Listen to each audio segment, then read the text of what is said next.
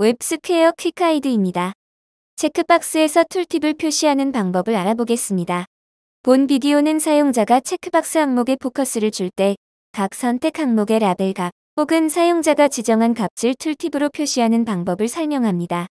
이 기능을 사용하려면 tooltip display, tooltip show always, tooltip formatter 속성을 설정하십시오. 선택 항목의 라벨 값을 tooltip으로 표시하려면 툴팁 디스플레이 속성을 true로 그리고 항상 툴팁을 표시하려면 tooltip show always 속성도 true로 설정하십시오. 현재 checkbox는 데이터 리스트 1과 바인딩되어 있습니다. checkbox를 더블 클릭하여 이를 확인할 수 있습니다.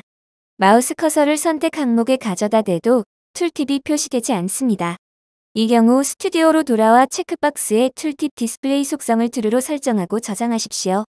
화면을 다시 로딩합니다. tooltip은 표시되지만 항목의 텍스트가 모두 표시되지 않는 경우에만 표시됩니다. 스튜디오로 돌아와 tooltipShowAlways 속성을 true로 설정하고 저장합니다.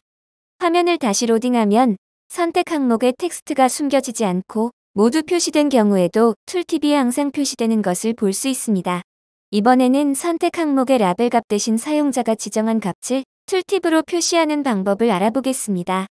tooltip 텍스트를 반환할 함수를 tooltipFormatter 속성으로 지정하고 해당 함수를 직접 구현해야 합니다. 현재 tooltip 텍스트를 반환하는 scwin 툴팁이라는 함수가 구현되어 있습니다. 이 함수의 이름을 tooltipFormatter 속성으로 지정하고 저장합니다. 화면을 다시 로딩합니다. 선택 항목 위에 마우스를 대면 scwin tooltip 함수가 반환한 텍스트가 tooltip으로 표시되는 것을 볼 수 있습니다. 웹스퀘어 퀵가이드를 시청해주셔서 감사합니다.